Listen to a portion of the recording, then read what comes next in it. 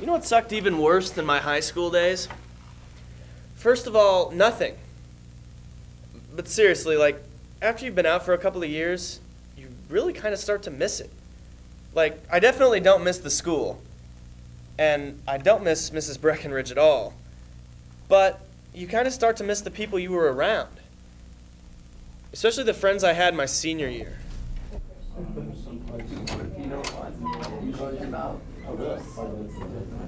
Okay, let's let's go ahead and uh, uh, come together here now. Remember what we were talking about last week?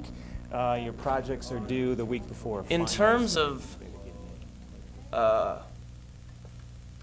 uh, teachers, Neil was far and away my favorite.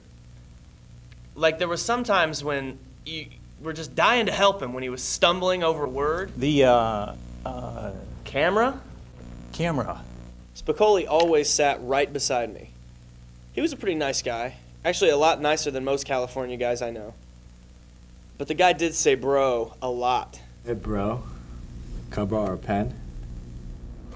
Uh, yeah, sure, man. Hey, bro. Can I borrow some paper too?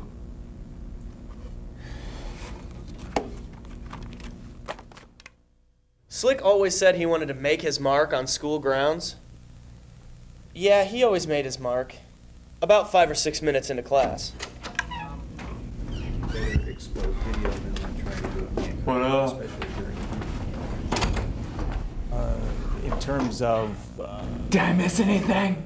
in terms of. You know, I'm not a big fan of talking in class, but the last thing I want to hear, if I'm making the smallest little amount of noise, is Harry snapping his fingers at me from the front row. Hi! Hi. D- the Harry love the poopies?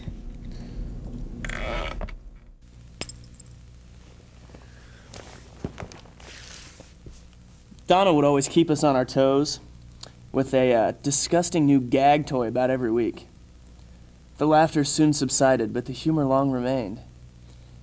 You know, I was at the store the other day and I actually caved in and bought one of these things. God.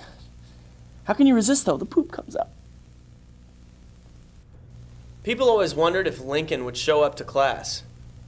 You know what? He did, every time. On time? No. I was Oh man, I thought class was in the lab today.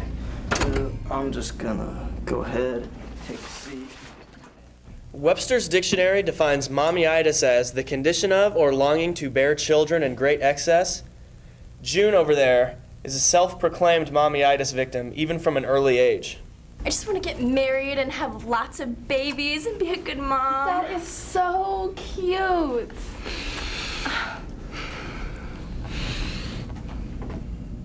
Unreal. Feldman and Brittany. Feldman and Brittany were happy. And, you know, that's the tall and short of it. Hey, dude, I checked out that uh, Virgin Suicides movie you told me about. I didn't really like it. I thought the story was flawed. What? Ronald would sit in front of me. Hair he had galore, if one may judge by the vast number of times I couldn't see the chalkboard. Anyway, he was a great guy. He'd do anything for you, but I learned real quick what not to say to him. You don't understand. No. Dude, dude, all right. I, I'm, I was just kidding. I liked it. I thought it was good. Gosh, you know, graduation came so quick that year. Flew by. And now, all those people are out of my life. Probably for good, too. They all seem to have a really good handle on what they wanted and, you know, where they were going. And I don't know. I'm not really in a position to judge whether they were right or they were wrong. You know what? I don't buy into the philosophy of uh, you don't know what you got till it's gone.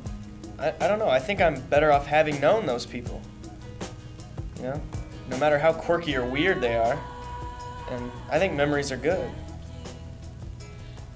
But if for some reason our paths do happen to cross again someday,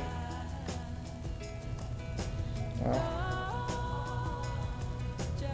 Lord Jesus, have mercy.